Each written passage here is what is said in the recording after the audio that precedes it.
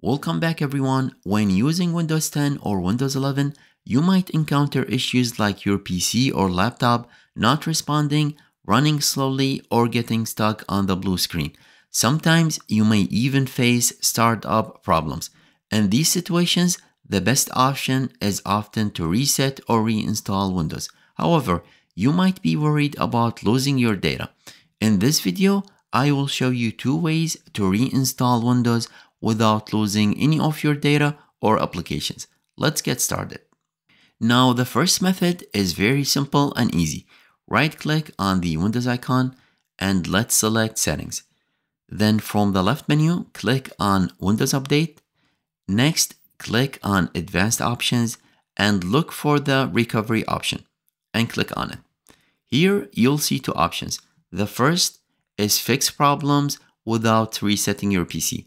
If you click on it, you'll find all sort of troubleshooting options for different components on your computer. Now go back and let's look at the other option, fix problems using Windows Update. This is the first method we'll be trying. It reinstall Windows but preserve all the data, applications, and settings. To use this method, click on reinstall now. You'll see a message stating will repair components and system files. You can read the rest on your own. Then confirm by clicking on OK. After that, it will download and reinstall your current version of Windows and help you fix your issues. If the first method doesn't fix your issue, you can try the second method, which is more effective. Now this time, instead of reinstalling the current version of your Windows, whichever you're using 10 or 11, we'll download a fresh copy of Windows and reinstall it without losing any of your data or applications.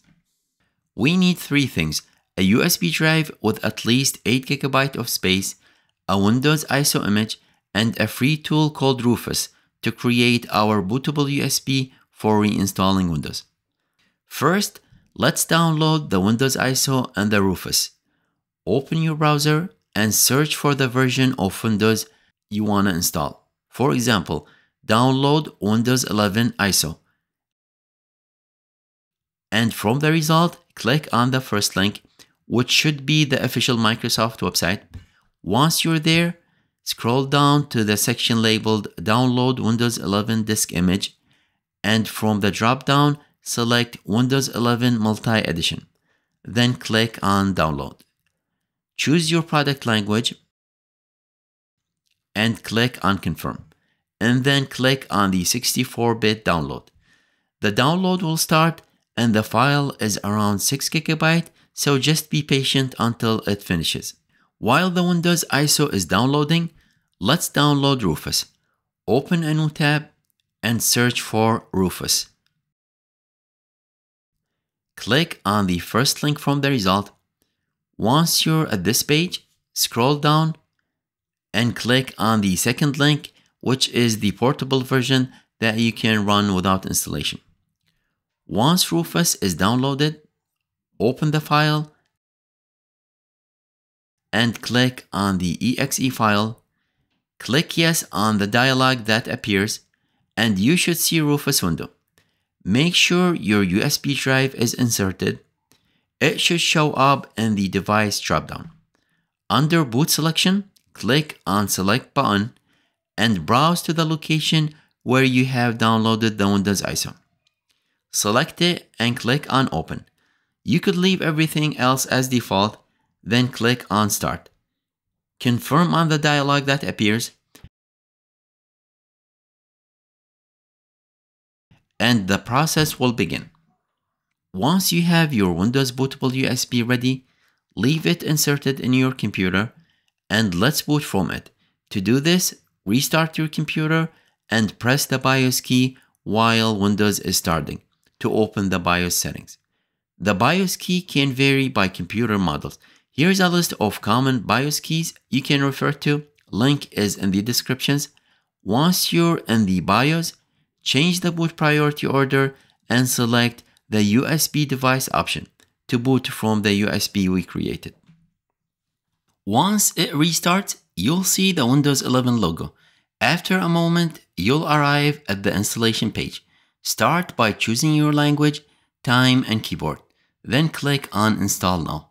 If you know your product key, enter it here. Otherwise, click on I don't have a product key and it will automatically use the one you currently have on the system. Next, choose your Windows edition. Now make sure you select the same one you currently have. If you had Windows 11 Pro, for example, make sure to choose Windows 11 Pro only. Check the agreement box and click on Next. And here we arrived at the most important part.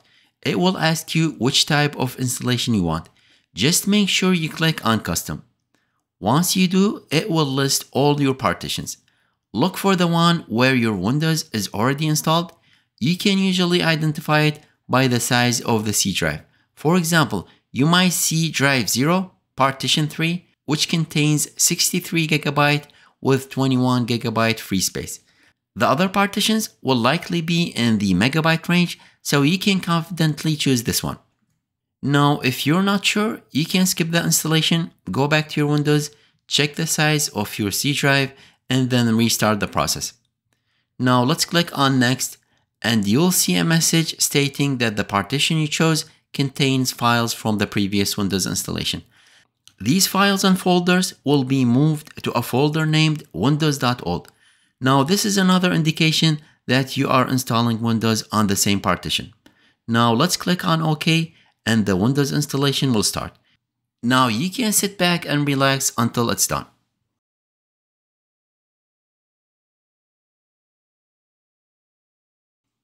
Once it's done, you have successfully reinstalled a fresh copy of Windows with all your data preserved.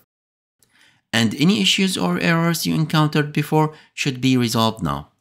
Now you might be wondering where to find your data, so anything you had on your desktop is still there as you can see.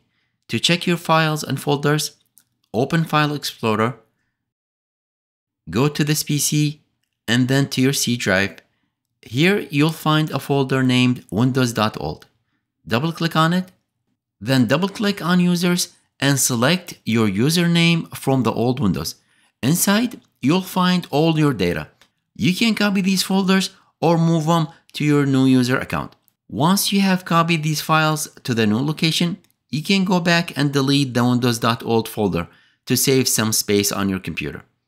Alright, those were the two methods to reinstall Windows without losing your data and applications. I hope you found it useful.